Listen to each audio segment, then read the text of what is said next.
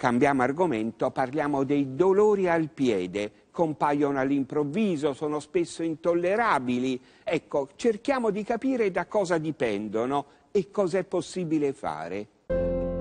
Sono il nostro mezzo di locomozione a costo zero, eppure dei piedi troppo spesso ci accorgiamo solo quando fanno male. Si parla spesso di mal di piedi, ma non ci si rende conto che i piedi sono una struttura complessa composta di tantissime parti, una concatenata con l'altra, il cui risultato finale può dare dei dolori in vari distretti del piede.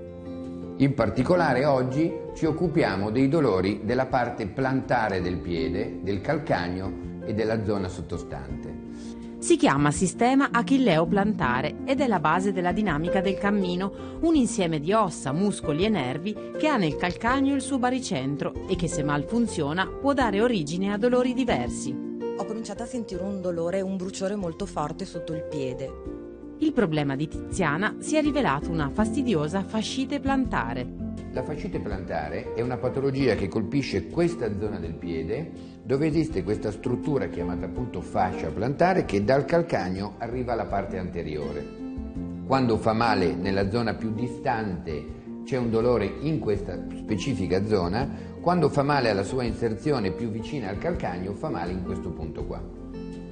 Un'accurata visita clinica può già fornire al podologo molte informazioni da approfondire poi con l'aiuto di test più sofisticati. Cammini pure tranquillamente, avanti e indietro. Con questo strumento speciale stiamo misurando la sincronia del movimento per vedere se la gamba destra o la gamba sinistra effettuano lo stesso tipo di velocità di esecuzione e lo stesso spazio di lunghezza o di apertura del passo. Queste informazioni ci aiutano, se messe in relazione con l'esame clinico effettuato precedentemente, ad avere una diagnosi più precisa.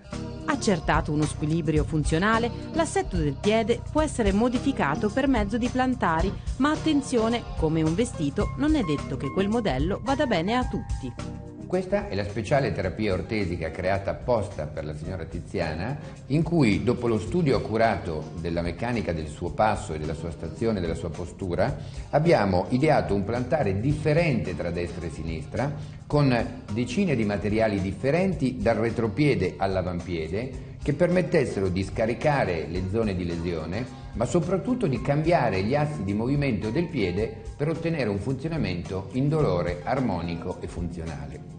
Particolare attenzione va poi riservata alla scelta della scarpa.